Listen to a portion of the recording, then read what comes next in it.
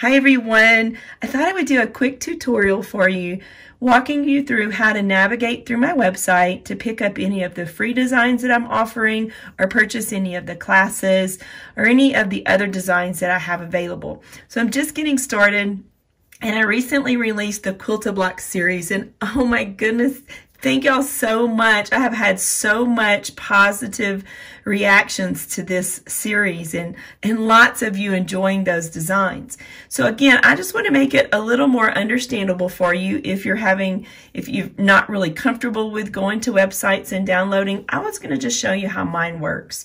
So if you look in the upper left-hand corner, it says loricollab.com and that's what you would put into your browser to get to my website. In any of the videos that I do, that I have things that you can grab or you can purchase, I try to place my website and talk about it in the video itself. And if I'm doing it on YouTube, I try to put the link down in the description. But it's really easy. It's just loricollab.com. And when you do that, it's going to bring you to my website. So at the top, you'll see where it says Lori Inspiration Collaboration. So that's, that's me. And then below it, you're going to have a few things that you can choose from. The first one is my shop page. That's my landing page. And so if you're on the shop page, you can just place your fingers on your, oops, I clicked on it. Let me back up. I'm going to use my back arrow. You can just browse up and down and see what I have to offer. Okay, now I'm going to browse back up to the top. And what I just recently added was this one right here, the Quilt-A-Block series, and it says printable PDF instructions only for the four patch and the four by four blocks. So this one right here is strictly just the printable instructions for the cuts that you would need to create the four patch Quilt-A-Block series or the little four by four um, patch over here, the 4x4 design. So if you just need to grab those PDF instructions, you can just click on this one and you'll be able to get it. So you'll notice that the little hand is moving around and as you navigate through each of the designs, you'll have the little hand on each of the options and that's going to allow you in just a moment we're going to click on one if I've uploaded different pictures for the project that I'm offering, you'll get to see the different pictures that are available for that one. So let's go back up here to the Quilt-A-Block series. I'm going to click on it.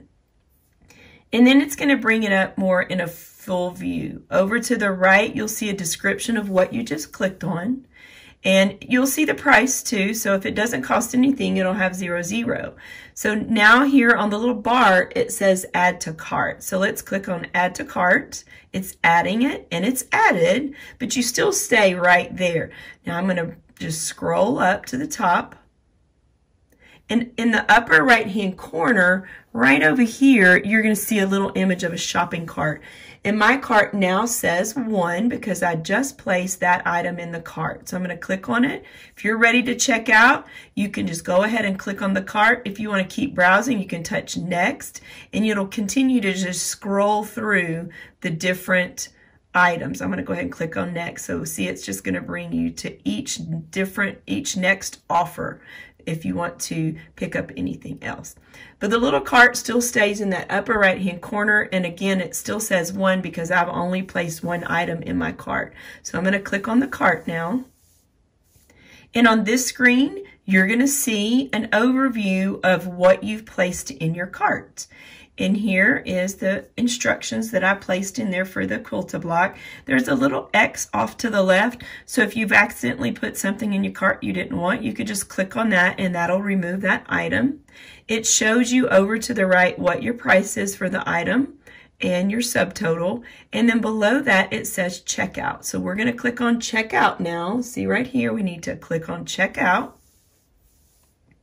And then it's going to bring you up to this view. So you have to put your email in next.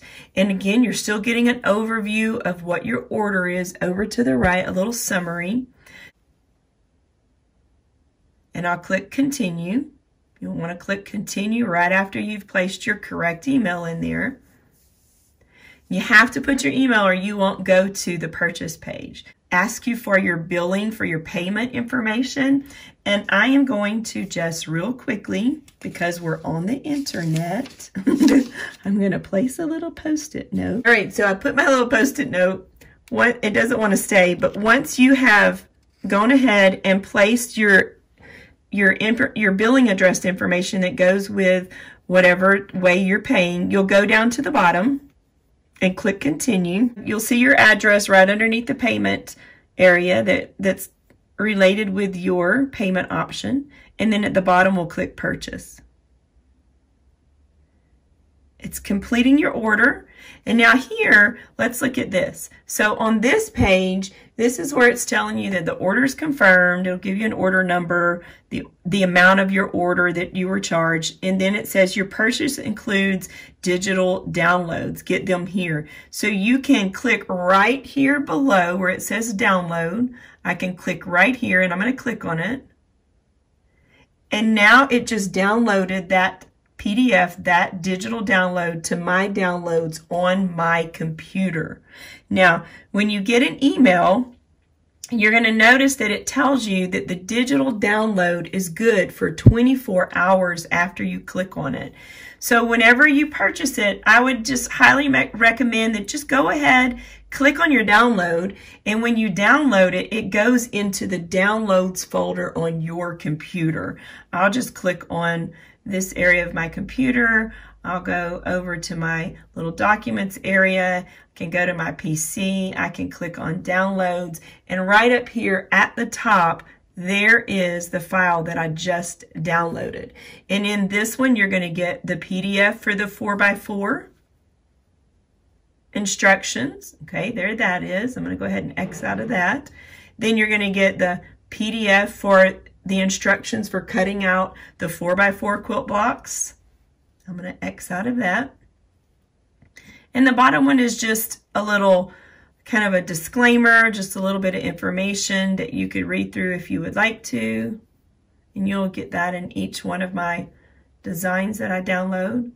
So there you have it. So it's in my downloads folder. So if you download it right away once you go through your purchasing process, and then you can take from your downloads folder and place it wherever you want to place it on your laptop. Maybe you want to keep all of these on an external flash drive or a little flash drive. That's totally up to you.